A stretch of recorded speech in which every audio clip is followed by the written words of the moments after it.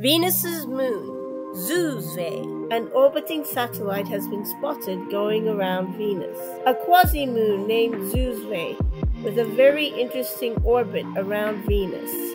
Venus's quasi-moon is the first of its kind to be found. Its name has a very interesting origin story as well. It was originally labeled 2002 VE68.